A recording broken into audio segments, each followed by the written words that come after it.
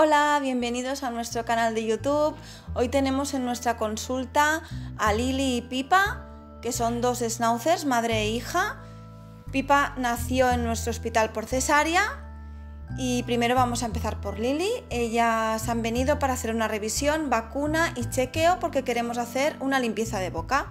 Primero empezaremos con el examen físico, miraremos los oídos, los dos oídos, Luego los ojos, eh, las mucosas, que estén rosadas. Ahora la dentición, que como veis, pues tiene, tiene un poquito de sarro. Lili tiene 8 años, es una edad en la que ya empieza a acumularse sarro, aunque hagan higiene dental los propietarios, que es el caso de Lili, ya tiene sarrito acumulado importante y por eso hemos decidido hacer la limpieza de boca. Ahora miraremos la piel, el estado de hidratación, que esté todo bien.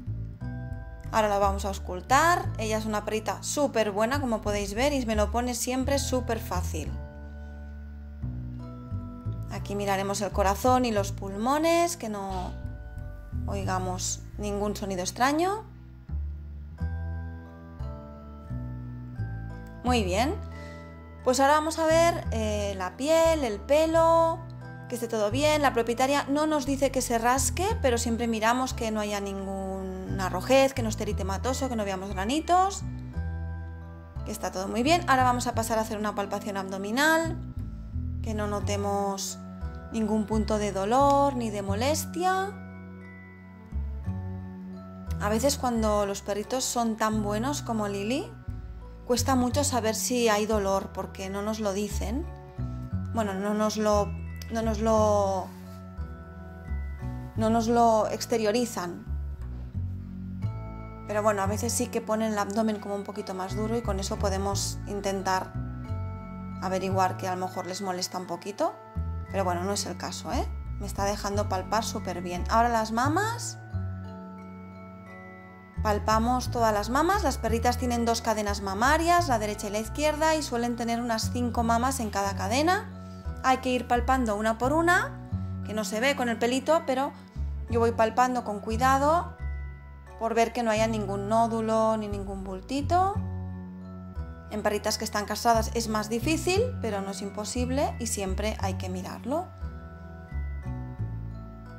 Muy bien. Perfecto. Ahora miraremos las articulaciones y los ganglios. Los ganglios perfectos, los de atrás, los popliteos, los mandibulares, los escapulares, que no estén grandes. Ahora las articulaciones, como digo. Normalmente esto nos lo dice la propietaria, que la perrita va coja o que le cuesta levantarse cuando está tumbada, que no es el caso, pero hay que ir mirando que no notemos ninguna molestia articular. También miramos las uñas, las almohadillas, la colita que no le moleste, la columna, también que no haya ningún punto de dolor. Muy bien. Las de delante también. Todos los deditos, la articulación del hombro y del codo. Lili lo hace súper bien. Estupendo, está todo bien.